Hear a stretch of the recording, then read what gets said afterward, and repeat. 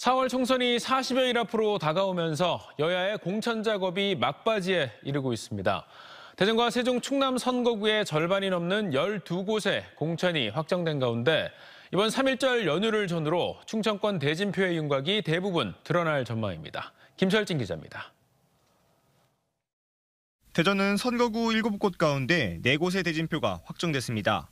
동구는 윤창현, 장철민 두 현역 의원이 맞대결을 벌이고 유성갑은 윤소식, 조승래, 유성을은 민주당을 탈당한 이상민 의원이 천문연구원 출신으로 전략공천을 받은 황정화 후보와 맞대결을 벌입니다.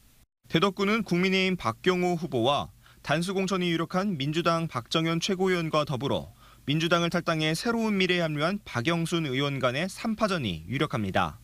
세종시는 북부권인 을선거구에서 이준배 전 세종시 경제부시장과 강준현 의원이 공천을 확정지었습니다. 11곳 가운데 7곳의 대진표가 나온 충남에서는 곳곳에서 리턴 매치가 벌어집니다.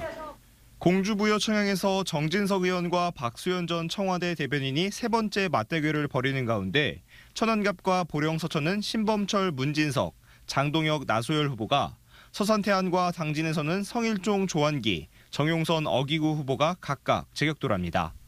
아산을은 전만권 전 천안 부시장이 현역인 강훈식 의원과 맞대결을 벌이고 홍성 예산은 강승규 전 대통령실 수석과 양승조 전 충남지사가 본선에 진출한 가운데 경선을 거부한 홍문표 의원의 무소속 출마 여부가 최대 변수입니다.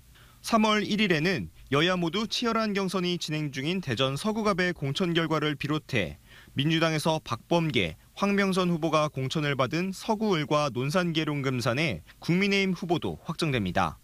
다만 대전 중구와 세종갑, 아산갑은 여야 현역 의원들의 불출마로 천안을과 천안병은 국민의힘이 선거구 획정 후 경선을 하기로 해 최종 경선 결과가 나오기까지 다소 시일이 걸릴 전망입니다.